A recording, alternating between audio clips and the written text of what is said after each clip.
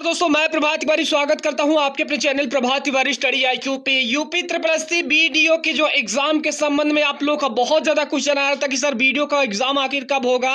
क्योंकि high court और supreme court से यहाँ पर बच्चों को निराशा हाथ लगी थी और बीडीओ का री एग्ज़ाम के लिए यहाँ पर कोर्ट ने डायरेक्टली आदेश दे दिया था। तो बहुत सारे अभ्यर्थी तो पैनिक होकर ये कह रहे थे कि सर पूरी भर्ती को निरस्त किया जाएगा और बहुत सारे अभ्यर्थियों को कहना है कि सर परीक्षा को कराया जाएगा।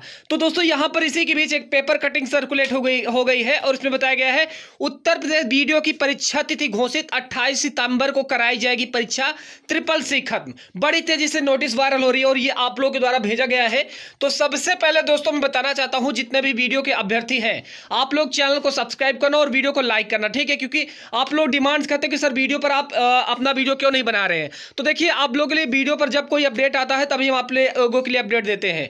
तो ये पेपर कटिंग बच्चों, जो सर्कुलेट की जा रही है लगातार सोशल मीडिया के प्लेटफॉर्म पर, बिल्कुल फेक है, प्रभात तिवारी स्टडी आईक्यू इसकी पुष्टि नहीं करता है।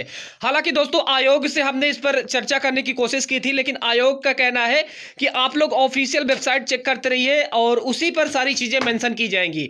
तो दो, दोस्तों जो इंटरनल सोर्स है उसके मुताबिक ये कयास लगाए गए हैं कि आप लोग की जो परीक्षा कंडक्ट कराई जा सकती है बीस से लेकर पच्चीस अक्टूबर के बीच दोस्तों आप लोग की परीक्षाएँ कंडक्ट कराई जा सकती है।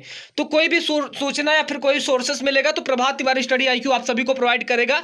देखा होगा कि कोर्ट की अपडेट सबसे पहले प्रभात तिवारी स्टडी आईक्यू ही की देता था। जय हिंद जय भारत।